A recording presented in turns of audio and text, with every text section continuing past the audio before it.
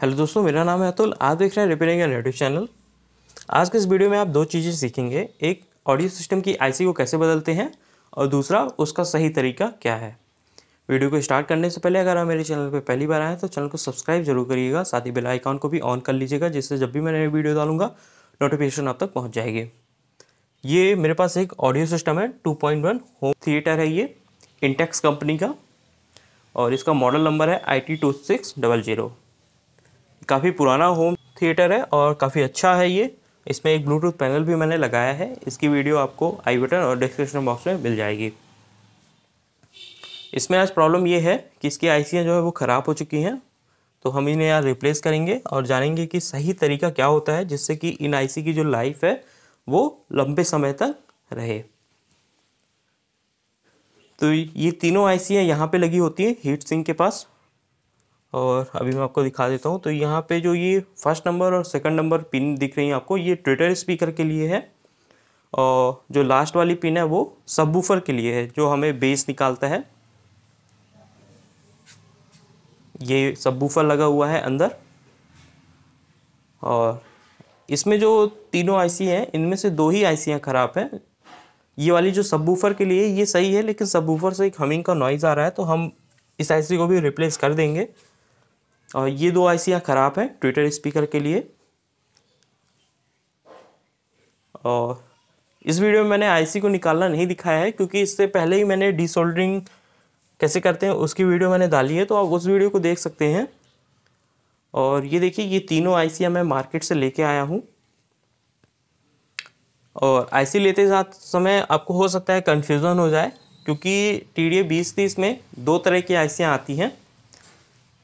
देखिए, यहाँ पे लिखा हुआ है D two zero three zero A तो हो सकता है आपके में भी डी लिखा हो, लेकिन जब हम मार्केट में ले जाएँ तो वहाँ पे टी डी ए लिखा हो। तो टी डी ए और डी एक ही चीज़ है कन्फ्यूज़ मत होइएगा। आपको ए बस देखना है, जो लास्ट का डिजिट है, वो सेम होना चाहिए। तो चलिए, अब हम देखते हैं कि इसका तरीका क्या है आईसी बदलने का। तो कई बार होता है कि हम नई आईसी लगाते हैं, वो कुछ समय तक चलती है, लेकिन फिर से वो जल जाती है। उसका रीज़न ये होता है कि इसके पीछे अगर आप आईसी के देखेंगे तो आपको इसका जो बेस दिखेगा, वो बिल्कुल प्लेन दिखेगा। और ये जो बेस होता है, ये हीट सिंक में कुछ इस तरह से लगा हुआ होता है, एक स्क्रू की हेल्प से। तो जो भी ये ऐसे हीट जनरेट करती है तो वो सारा हीट सिंक में जाता है। तो गलती हम यहाँ पे ये करते हैं कि बदलते समय हम इस आईसी में कोई पेस्ट नहीं लगाते हैं। हम डायरेक्ट इसको ऐसे अप्लाई कर देते हैं यहाँ पे, इसको सोल्डरिंग कर देते हैं, और जब हम ऑडियो सिस्टम को फुल पे सुनते हैं तो ये बहुत ही ज़्यादा हीट जनरेट करती हैं, जिसकी वजह से ये ख़राब होती हैं। तो हमें आईसी बदलते समय एक पेस्ट का यूज़ करना है, उसे थर्मल पेस्ट बोला जाता है। तो जब भी आप नई आईसी लगाएँ तो यहाँ पे थोड़ा सा थर्मल पेस्ट आपको लगा लेना है। अभी मैं इस वीडियो में आपको डिटेल में बताऊँगा कि थर्मल पेस्ट को कैसे अप्लाई करते हैं थर्मल पेस्ट होता क्या है। ये आपको कहाँ पे मिलेगा। और वीडियो हो सकती है थोड़ी लंबी बने पर अगर आपको पूरी डिटेल जाननी है, पूरी जानकारी आपको लेनी है नॉलेज लेना है तो इस वीडियो को आप पूरा देखिएगा।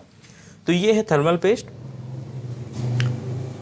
और इस थर्मल पेस्ट को हमें यहाँ पे अप्लाई करना है।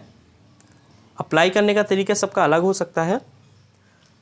लेकिन आप ये जानिए कि थर्मल पेस्ट का यूज़ मैं करूँगा क्यों? क्योंकि देखिए, कोई भी जो सरफेस होती है, वो प्लेन नहीं होती है। हमारी आँखों से वो प्लेन दिखती है, पर असल में वो प्लेन नहीं होती है। उसमें बहुत ही खुरदुरे, बहुत ही महीन होल होते हैं। तो इस होल को भरने के लिए यहाँ पे थर्मल पेस्ट का यूज़ किया जाता है, जिससे कि जो भी हीट है, वो पूरी की पूरी उसकी हीट सिंक में ट्रांसफ़र हो सके। इसका इस्तेमाल ज़्यादातर कंप्यूटर में प्रोसेसर और हीट सिंक के बीच में किया जाता है। उसके लिए मैंने एक डिटेल में वीडियो बनाई है तो उसका भी मैं लिंक आई बटन और डिस्क्रिप्शन बॉक्स में दे देता हूँ, जिससे कि आप उस वीडियो को भी देखिएगा। तो इसको अप्लाई करने का जो तरीका है, वो कुछ इस तरह है कि आपको इसमें थोड़ा सा heat sink sorry thermal paste लगाना है। बहुत ज़्यादा थर्मल पेस्ट का इस्तेमाल नहीं करना है और ना बहुत ही कम। आपको बस इतना लगाना है कि ये बाहर ज़्यादा ना निकल पाए। तो देखिए, इसमें मैं थोड़ा सा इसके चारों तरफ़ मैं लगा दूँगा। देखिए, लगाने का तरीका सबका अलग अलग हो सकता है। हो सकता है आप ज़्यादा लगा दें, कम लगा दें। ज़्यादा लगा देंगे तो हीट जो है वो ट्रांसफ़र हो ही नहीं पाएगी। एक बीच में एक शील्ड बन जाएगी। और कम लगा देंगे तो कोई मतलब नहीं है। तो इसलिए आपको ना ज़्यादा लगाना, ना कम लगाना, सिर्फ़ इतना लगाना है कि पतली सी लेयर आपके हीट स्ट्रिंग और इस आईसी के बीच में बनी रहे। इससे जो भी ये audio amplifier IC heat generate करेगी, पूरी की पूरी हीट सिंक में ट्रांसफ़र हो जाएगी। अब एक बहुत बड़ा क्वेश्चन सभी के दिमाग में रहेगा, जिन्हें थोड़ा बहुत नॉलेज है इसका। कि आईसियाँ गर्म बहुत होती हैं, जो ऑडियो आईसी होती है, वो बहुत ज़्यादा गर्म होती है। तो ये नॉर्मल है, ऑडियो आईसी गर्म होती ही है, चाहे आप स्लो पे चलाइए, चाहे फुल पे चलाइए। एक चीज़ है कि अगर आप फुल पे चला रहे हैं अपना होम थिएटर तो आईसी जो है वो अपनी पूरी फुल पावर के साथ काम करती है। पूरा एम्पलीफाई करने के लिए आईसी पे लोड पड़ता है, जिससे कि आईसी बहुत ही ज़्यादा हीट होती है। अब हम इसको लगा रहे हैं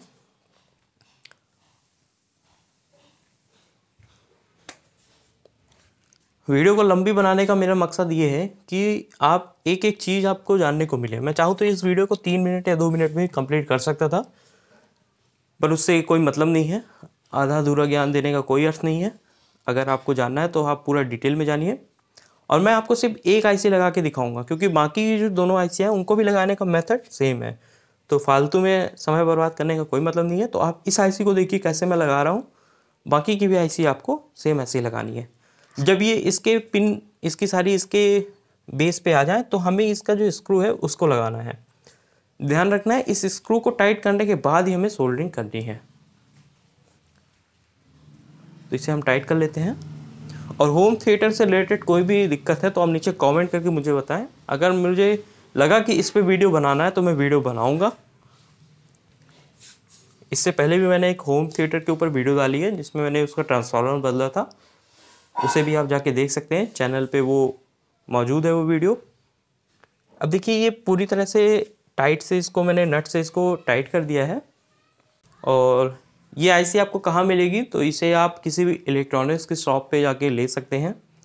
ऑनलाइन भी उपलब्ध है। और जो थर्मल पेस्ट है, वो भी आपको किसी कंप्यूटर शॉप पे मिल जाएगा। इलेक्ट्रॉनिक्स की शॉप पे तो शायद मुश्किल है, लेकिन किसी कंप्यूटर हार्डवेयर की शॉप पे आपको वो मिल जाएगा। अब हम इसको सोल्डरिंग करेंगे। सोल्डरिंग करने से पहले हम इस पर थोड़ा सा पेस्ट लगाएँगे। पेस्ट लगाने का उद्देश्य ये है कि भविष्य में ये सोल्डरिंग यहाँ से छोड़ न दे, क्योंकि टाइम के साथ जो सोल्डरिंग होती है वो कमज़ोर होती है, जिससे कि लूज सोल्डरिंग का प्रॉब्लम हो जाता है। और अगर आप ये पेस्ट के साथ इसको सोल्डरिंग करेंगे तो ये बहुत ही अच्छा जॉइंट बनता है कि फिर लंबे समय तक चलता है। और सोल्डरिंग की जो टिप है, उसे भी हम क्लीन कर लेंगे। अब हम इसमें सोल्डरिंग करते हैं। जो ये आईसी की कीमत है, ये आपको मार्केट में पंद्रह से बीस रुपए की मिलेगी। और जो थर्मल पेस्ट है, वो आपको पाँच से दस रुपये का मिल जाएगा। जगह के हिसाब से रेट जो है, वो ऊपर नीचे हो सकता है। जहाँ मैं रहता हूँ, रीवा में, वहाँ पे थर्मल पेस्ट पाँच से दस रुपये का मिलता है। और जो आईसी होती है, वो बीस रुपये की आती है। तो देखिए, ये अच्छी तरह से सोल्ड हो चुका है। अब हम इसे एक ब्रश की हेल्प से इसको क्लीन करेंगे, जिससे कि कोई भी शॉर्ट सर्किट वगैरह ना हो यहाँ पे। और ये अच्छे से सोल्डर हो चुका है। बाकी की जो दो आईसी हैं, उन्हें भी आप सेम मेथड से ही लगाना है। इसलिए मैं उसका वीडियो नहीं बना रहा हूँ आगे। तो देखिए, ये अच्छी तरह से क्लीन हो चुका है। अब इसकी जो आईसी की लाइफ है वो बहुत ज़्यादा मतलब ये लंबे समय तक ये ऐसी चलेगी। अगर आप फुल वॉल्यूम पे भी सुनेंगे तो ये लंबे समय तक ये ऐसी टिकेगी, ख़राब नहीं होगी। आशा करता हूँ कि वीडियो आपको अच्छा लगा होगा। कोई दिक्कत है, कोई डाउट है तो नीचे कमेंट करके आप मुझसे पूछ सकते हैं। इंस्टाग्राम पे मुझे फॉलो करना मत भूलिएगा। और वीडियो अगर आपको अच्छा लगा है तो वीडियो को लाइक करिएगा, इस वीडियो को शेयर करिएगा। ऐसे लोगों के साथ शेयर करिए जिन्हें इस तरह की वीडियोस देखना पसंद है। और अगर आपको कुछ आज की इस वीडियो में सीखने को मिला है तो चैनल को सब्सक्राइब ज़रूर करिएगा। और साथ ही बेल आइकन को भी ऑन कर लीजिएगा। आज की वीडियो के लिए इतना ही था। सुरक्षित रहिएगा। मिलते हैं अगली वीडियो में।